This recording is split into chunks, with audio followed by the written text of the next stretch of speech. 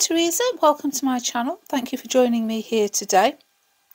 Today we're going to be looking at how we can take prints and clean off papers like these that I'm not overly happy with. I mean these, as you can see, this is where I've cleaned my brayer, I've cleaned some foam stamps on here, this piece of paper where I've just cleaned off my brayer.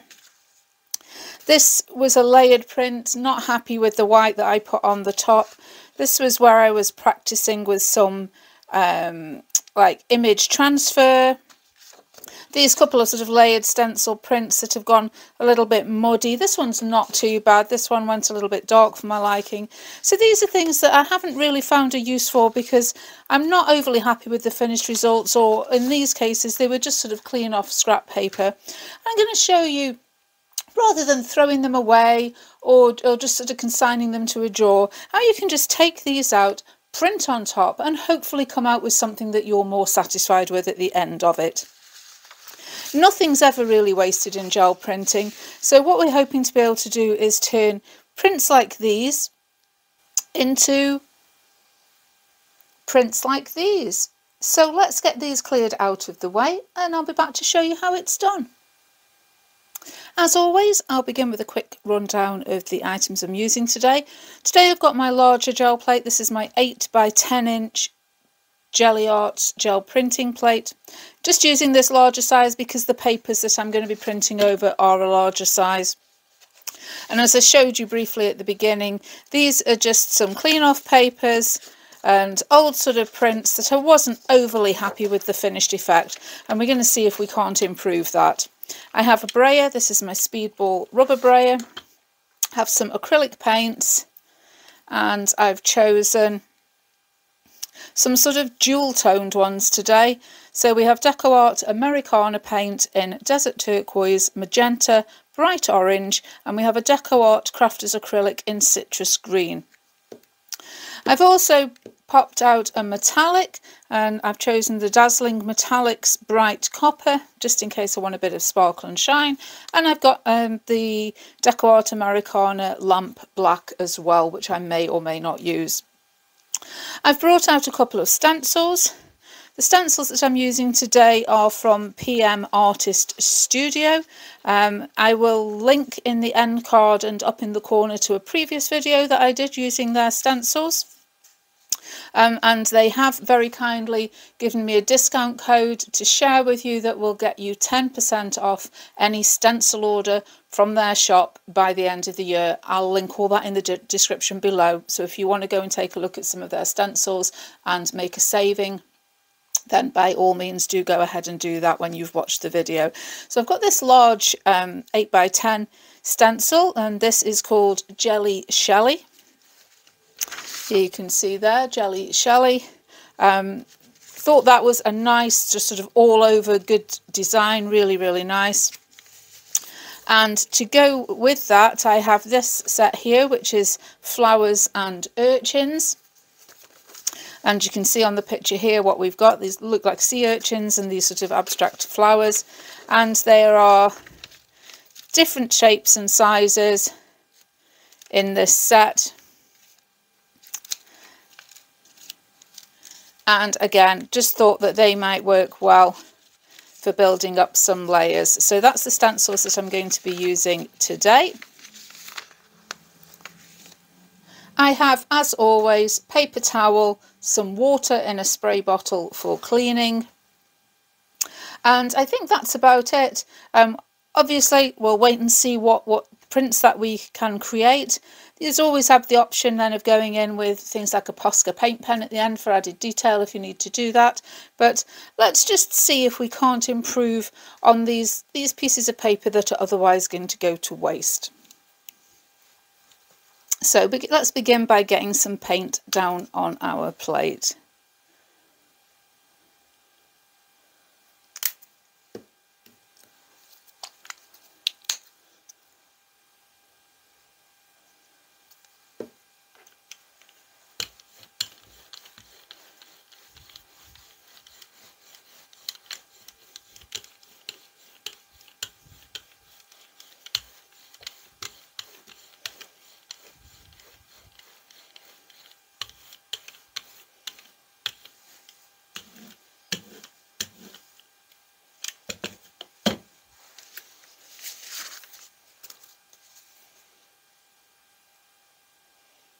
Pop this large stencil down. I'm going to take this print here. And these are all just prints on random different weights of paper. I mean, the clean off prints are just on normal printer paper, like copier paper. And these others tend to be on slightly heavier weight paper. There we go, that's added some interest on there. We can take our stencil off. I still have some paint down on the plate. Let's let that dry and put another layer on top of that and then we can print onto another one of our pile of prints that we've got at the side.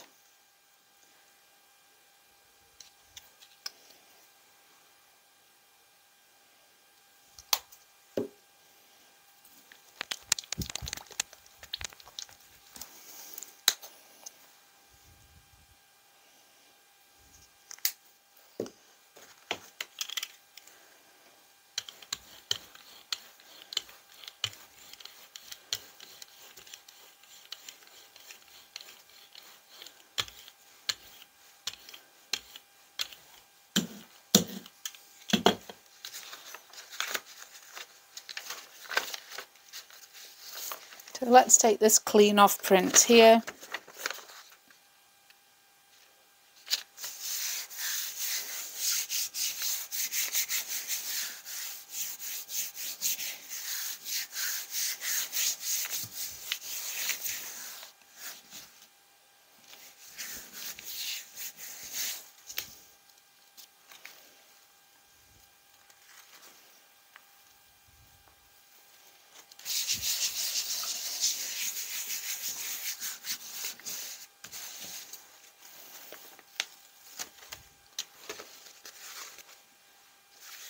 And that's added some all over pattern. We've got a little bit of shimmer and shine on there.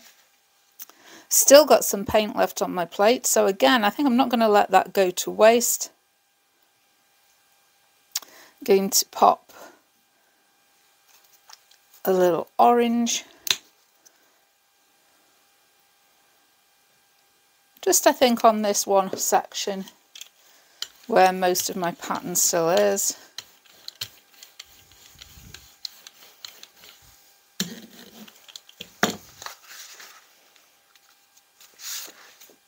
Let's take this print.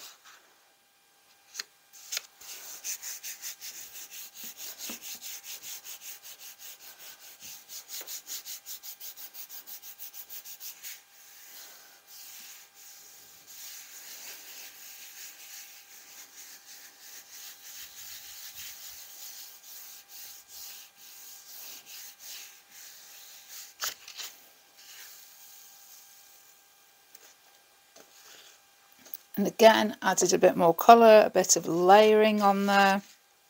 And I'm going to clean my plate off at this point. I'm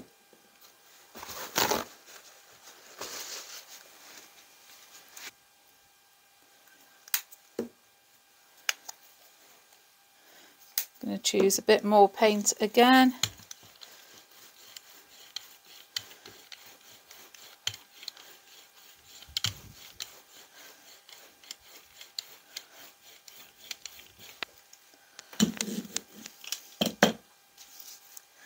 same stencil once again.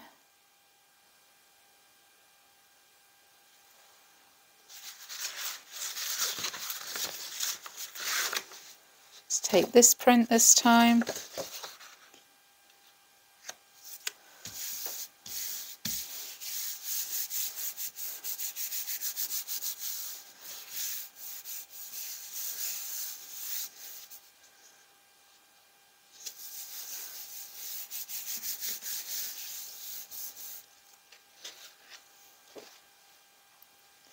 Love this pattern, really nice.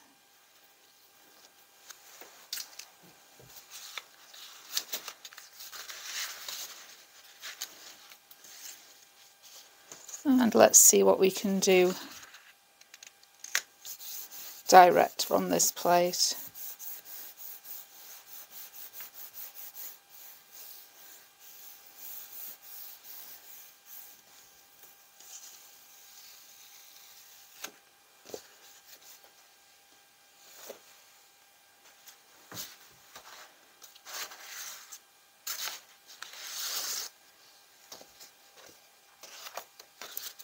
And again, let's just see what we can clean off.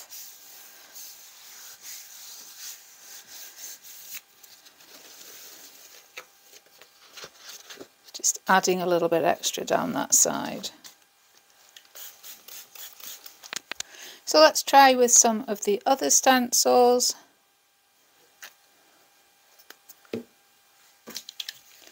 This time I'm just going to put the green on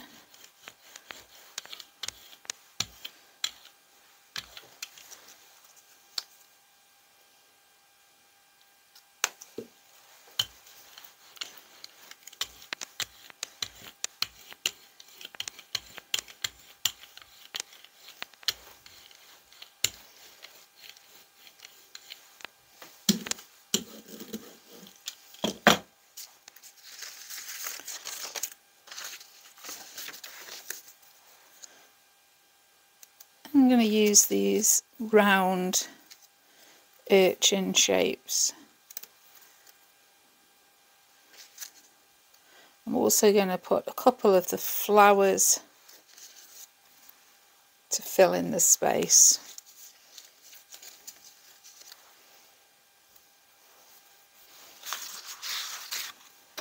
Let's take this print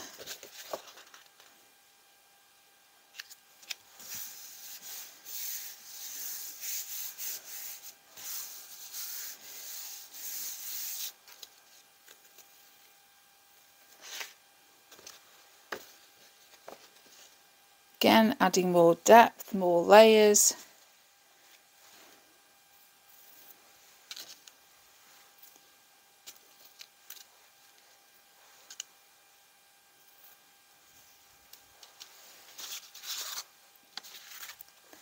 And I'm not sure whether this is going to be bright enough paint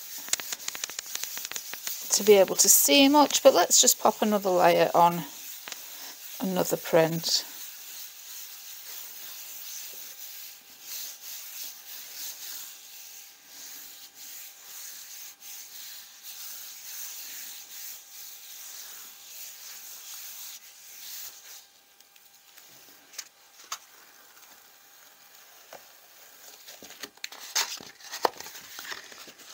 So it's added some more colour. The detail's not come out that clear. I didn't expect it to because that green's very pale. Quite translucent in a thin layer. So now let's try something a little more dramatic.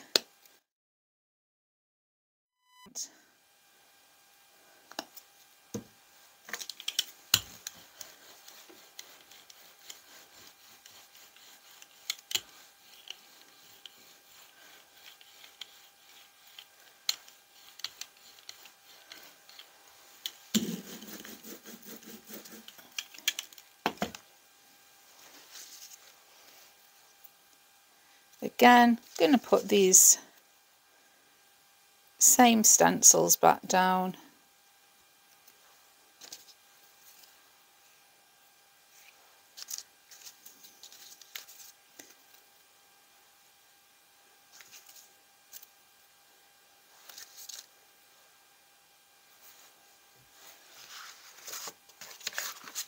Let's take something that's got some bright colours in it.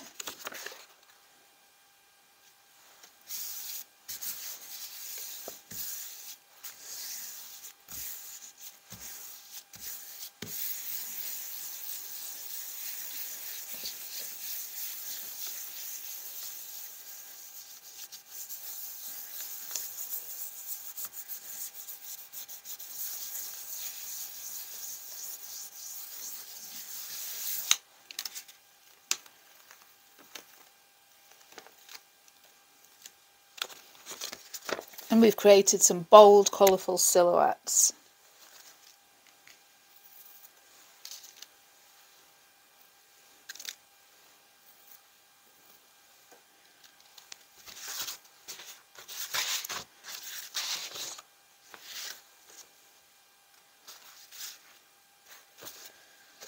Let's see what we can get by trying to pull up the residual paint off the plate.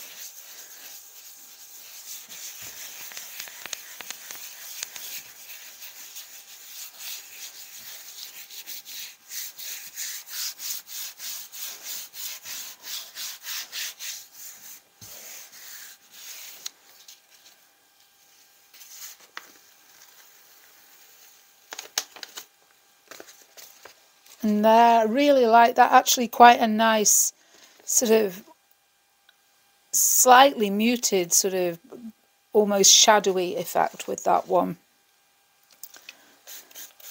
I'm going to remove this. You could use that paint, but I find with sort of the residual bits of black as it fades, it starts to become less distinct and just sort of adds more of a dark cast onto your print rather than anything with any clear definition. So sometimes better to just clear that out of the way and start with a new coat of paint.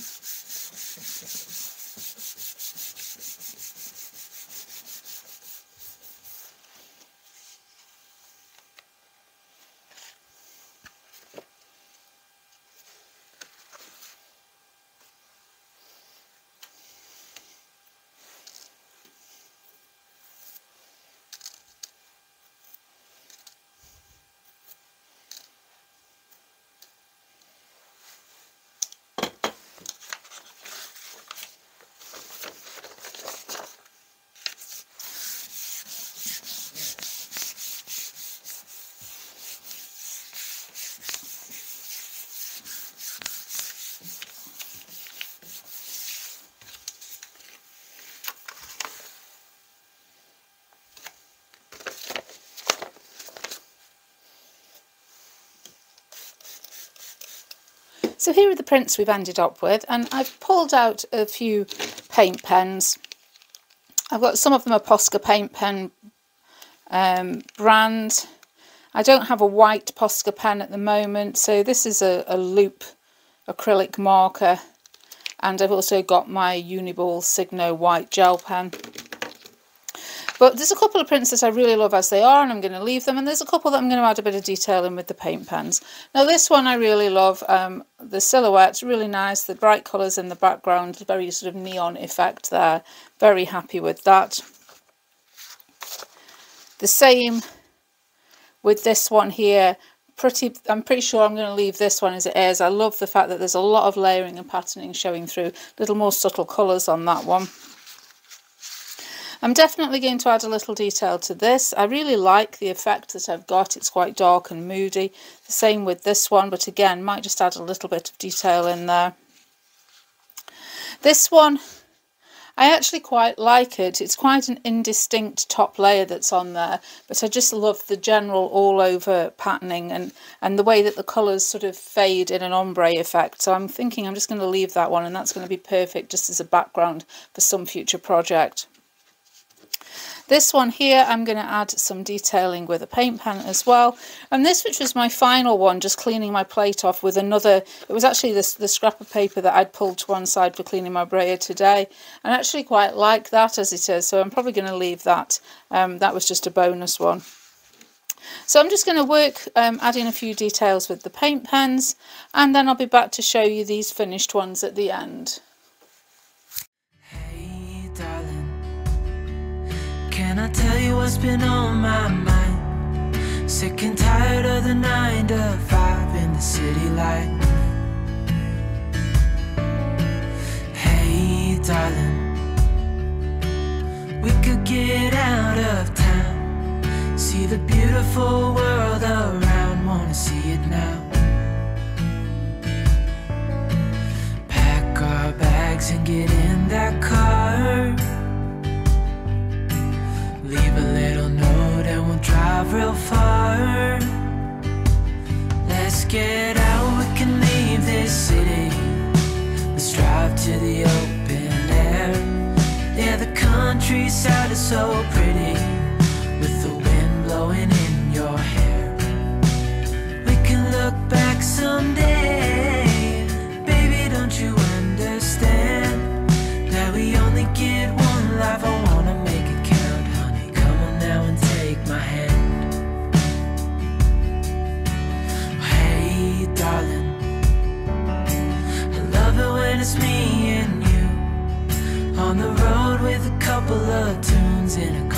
car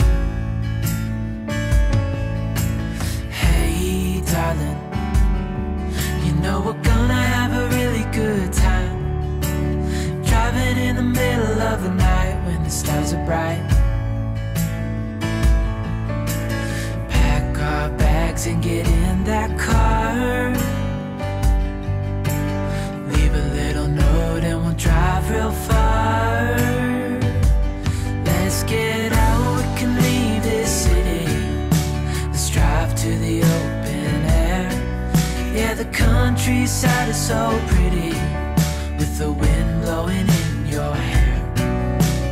We can look back someday.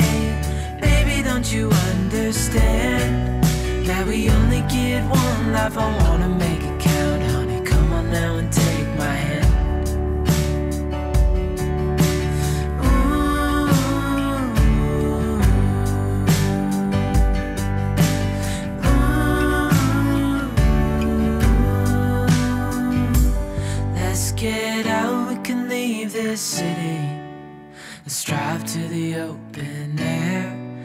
Yeah, the countryside is so pretty With the wind blowing in your hair.